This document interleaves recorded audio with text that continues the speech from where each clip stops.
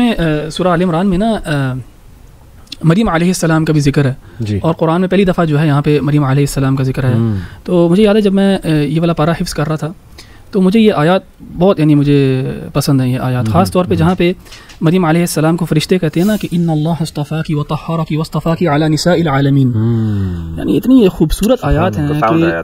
कि और ये किसी इंसान के लिए इस तरह के अल्फाज नहीं कुरान में जिस तरह मरीम अलैहिस्सलाम के बारे में है। कि फरिश्ते आगे कहते हैं कि अल्लाह ताला ने तुम्हें चुन लिया है और तुम्हें पाक और पाकीज़ा कर दिया है और सारी जहान की जो औरतें हैं उनके ऊपर तुम्हें चुना गया यानी किसी नबी के लिए भी इन अल्फाज में नहीं इवन तो हमें पता है कि अम्बिया जो है उनका रुतबा जो है वो गैरुल अम्बिया से बढ़ के है। लेकिन ये जो चॉइस ऑफ़ वर्ड्स जो मरीम अलैहिस्सलाम के लिए आया ना ये बहुत ही खूबसूरत है।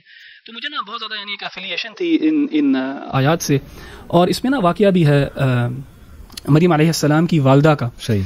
कि वो जब एक्सपेक्ट कर रही होती हैं औलाद एक्सपेक्ट कर रही होती हैं तो वो अल्लाह ताला से दुआ मांगती हैं कि मैं आ, तेरी तरफ़ नज़र कर देती हूँ उस जो भी मेरे पेट के अंदर है।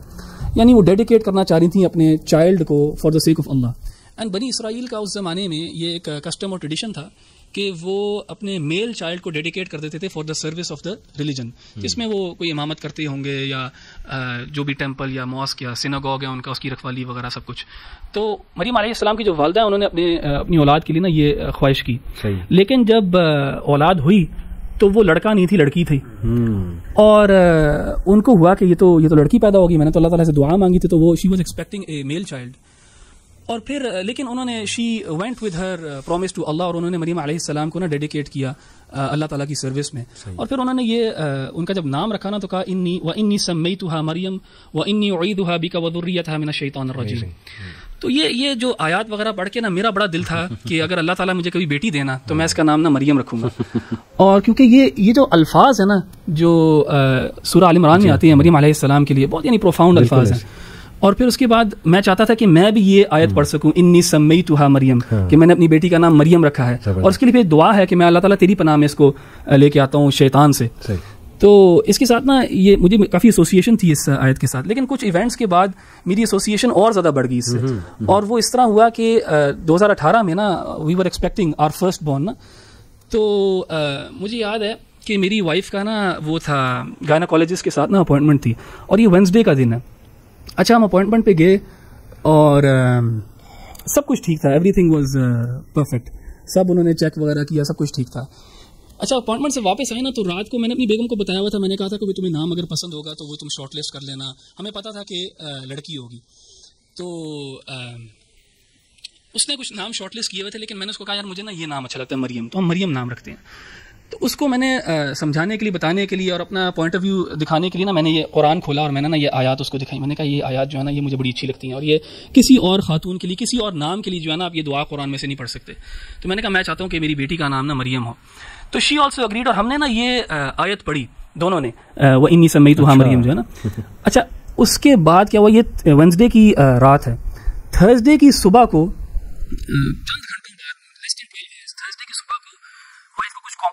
हुए जिसकी वजह से ना we had to rush to the emergency and basically फिर डॉक्टर ने मुझे कहा कि प्रॉब्लम है काफ़ी ज़्यादा तो हमें जो है ना सिजेरियन करके बेबी को निकालना पड़ेगा नहीं तो जो है ना आपकी your wife mother won't survive तो थर्सडे साढ़े बारह एक बजे के करीब ना मेरी बेटी पैदा हुई।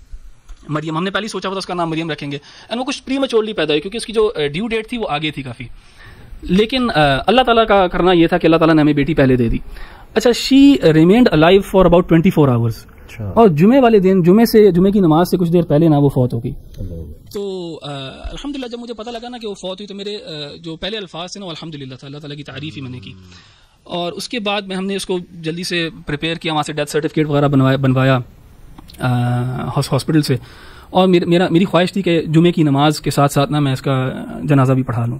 तो अलहमदिल्ला वो टाइमिंग इस किस्म के थे कि हमने जुमे की नमाज़ भी हमें मिल गई और उस जुमे की नमाज़ के बाद ना मैंने पढ़ाया जनाजा उसका और फिर हमने उसको दफना दिया। तो ज़ाहिर है मेरी मुझे पहले ही आयात मुझे पसंद थी लेकिन अब मुझे और ज़्यादा पसंद है ये आयात। और और ज़्यादा मेरी एक पर्सनल एसोसिएशन है इन आयात के साथ। एंड मैंने फिर इसके ऊपर गौर किया अगर और ये पूरा जो इंसिडेंट हुआ था हमारे साथ इसमें अल्लाह सुब्हानहू व तआला की इतनी मदद थी मेरे लिए ना और मैं इतना ग्रेटफुल हूँ अल्लाह ताला के साथ कि अल्लाह ताला ने मुझे इस एक्सपीरियंस के थ्रू गुजारा। कि मैं आप देखता हूँ कि जो मैंने और मेरी बेगम ने चंद घंटे पहले दुआ मांगी थी ना। अल्लाह ताला ने वो दुआ पूरी की। क्योंकि देखिए मरियम सलाम जो थी ना वो पाकीज़ा थी। बिल्कुल उनको शैतान ने बिल्कुल छुआ नहीं। और फिर दुआ के अंदर जो ना उनकी जरूरियत के लिए भी है। उनकी औलाद में से कौन हुआ? ईसा इस्लाम ईसा इस्लाम भी बिल्कुल प्योर पाक। ईसा इस्लाम के आगे औलाद ही नहीं हुई किसी की। बिल्कुल तो वो जो दुआ है मरियम इस्लाम की वालदा की वो अल्लाह ताला ने पूरी की। मैं समझता हूँ अल्लाह ताला ने मेरी और मेरी बेगम की भी दुआ पूरी की। क्योंकि इस हो सकता है इस टाइम में इस तरह तो हो नहीं सकता कि कोई इतना प्योर सोल पैदा हो मरियम अलैहि इस्लाम की तरह। लेकिन अल्लाह ताला ने मुझे बेटी दी और उसकी आगे ज़ाहिर कोई औलाद नहीं है। तो अल्लाह ताला ने मुझे मेरी पूरी दुआ कबूल की। और इसमें ना बहुत ज़्यादा अलहमदिल्ला इंसिडेंट्स ऐसे हैं इस वाक़े में ना हमारे साथ हुए जिससे मुझे बड़ी ज़्यादा जो है ना वो स्ट्रेंथ मिलती है। यानी उसका जुमे के दिन उसका फौत होना और मेरा उसका जनाजा पढ़ाना जुमे के बाद तो यानी हमारा जो दीन है ना इसमें जो हमारा बिलीफ है अल्लाह ताला की कदर में उससे इतनी स्ट्रेंथ मिली मुझे।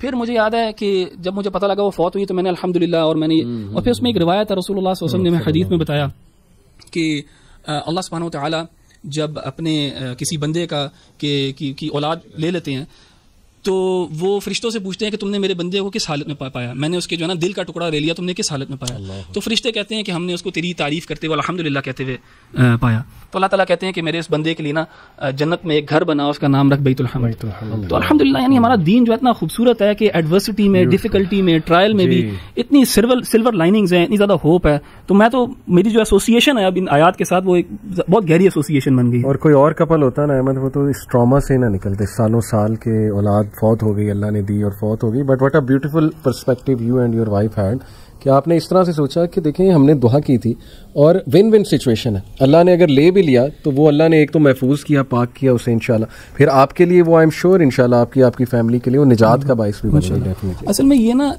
मेरे लिए मैं खुद जिस चीज़ पे हैरान था ना वो अपनी जो मेरी बेगम का रवैया था ना उस पर मैं ज़्यादा शॉक्ड एंड सरप्राइज़ था कि जिस तरह उसने इसको डील किया जिस तरह अल्लाह ताला ने उसको हिम्मत दी हुई थी कि देखें एक औरत जो है ना वो बड़ा हाँ, मुश्किल टाइम काटती है प्रेगनेंसी का।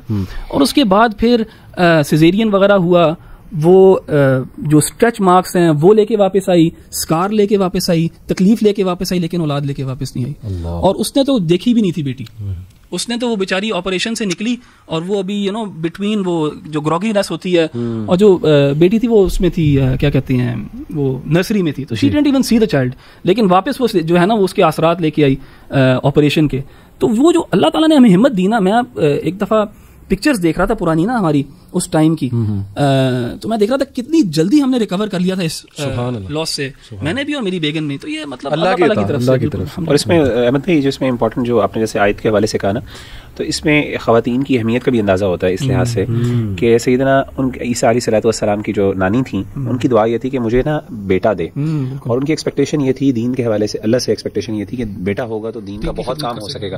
अल्लाह ने उस पैराडाइम को चेंज किया और कहा कि वली से जकर कल उत्साह यानी उन्होंने कहा कि अल्लाह ये तो बेटी आ गई है मैं दीन का कैसे कहा अल्लाह ने कहा तुम्हें पता ही नहीं है जो औरत से मैंने काम लेना है वो मर्द कर ही नहीं सकता सुबहान अल्लाह और इमाम जमख्शरी जो है बड़े मशहूर जो है वो यहाँ पे बला, जो बलागत और लैंग्वेज के जो स्कॉलर हैं उन्होंने कहा कि यहाँ पे औरत की जो है वो पता चलता है कि औरत की यानी अहमियत का पता चलता है कि अल्लाह ने कहा कि इससे जो है ना तो अंदाज़ा ये हुआ कि औरतों औरतों को पता औरतों को ये पता चलना चाहिए कि जो अल्लाह ने काम उनके लिए मुख्तस किए हैं वो इतने बड़े काम हैं कि उनको आप डी वैल्यू नहीं कर सकते अंडरमाइन नहीं कर सकते एज कंपेयर जस्ट बिकॉज़ के मर्द शायद वो कर रहे हैं। बिल्कुल ऐसे अच्छा मैं सूरह आल हर सूरत में कोई ना कोई दुआ होती है लेकिन आल इमरान में एक दुआ है जो कि मुझे बहुत अच्छी लगती है। और वो है रब्बना ला तुझे क़ुलूबना बअद इज़ हदैतना वहब लना मिन लदुनका रहमा इन्नका अंतल वहाब। आया नंबर भी बता ये आया नंबर एट है। सूरह नंबर थ्री आया नंबर एट है।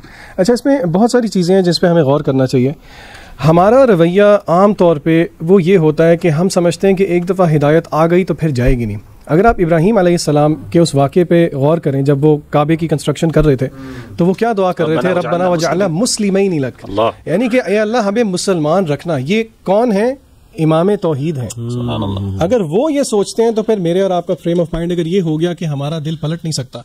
बाद आयद हदैतना और फिर इसमें दूसरी अहम बात यह है the need and the necessity of रहमा रहमत मेरे और आपके लिए कितनी ज़रूरी है? जैसे कि एक रवायत में भी अल्लाह के नबी सल्लल्लाहु अलैहि वसल्लम ने बताया कि तुम में से कोई भी जन्नत नहीं जा सकता। इल्ला ये कि उसको अल्लाह की रहमत घेर ना ले। साहबा ने पूछा या रसूल अल्लाह सल्लल्लाहु अलैहि वसल्लम क्या आपके साथ भी ये मामला है? तो आपने कहा हाँ बिल्कुल मेरे साथ।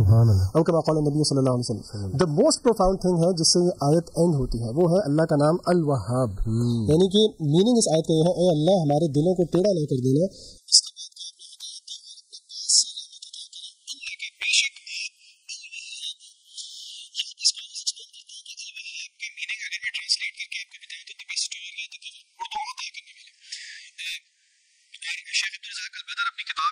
जो है एक्सप्लेनेशन बताते हैं कि इसका मतलब है plentiful in giving three things in giving gifts in giving blessings and in giving benefits और वो कहते हैं कि अरबी में गिवर को असल में वाहिब कहते हैं। यहाँ पे वहाब है यानी कि अरबी में ये मुबालगे का सिगा फ़ाल के वज़न पे है। इसका मतलब है गिवर इन अबंडेंस।